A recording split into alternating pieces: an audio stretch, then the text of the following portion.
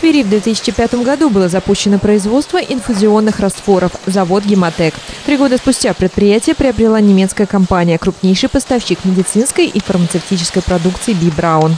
Сегодня здесь производится 38 миллионов флаконов в год. Компания работает круглосуточно. Трудоустроено 250 человек. Отчисление в бюджет региона составляет более 30 миллионов рублей. Перспективу развития производства российское руководство компании обсудили на встрече с губернатором Игорем Рудейней.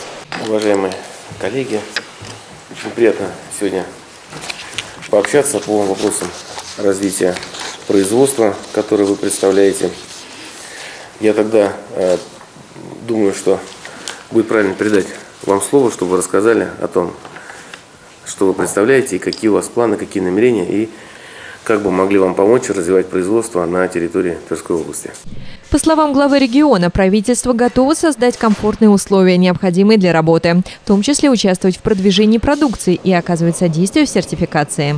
Видя э, возможность развития э, в Российской Федерации, конкретно э, в Тверской области, компания Бибраун рассматривает возможность локализации производства на имеющихся площадях и расширение имеющихся площадей на соседние участки.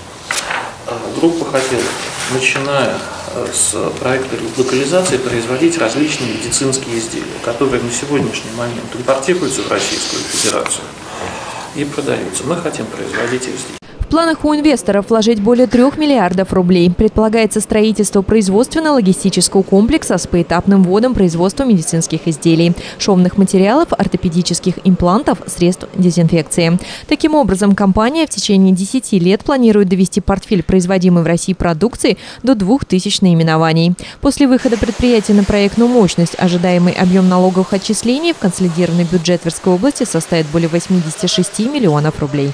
Юлия Калинина, Твериград ТВ.